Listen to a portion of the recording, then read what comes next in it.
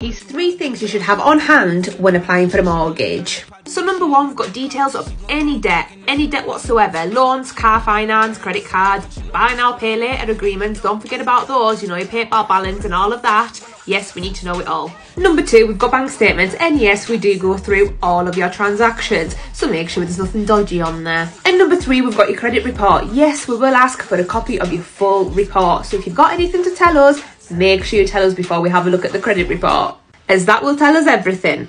Follow me for my mortgage tips.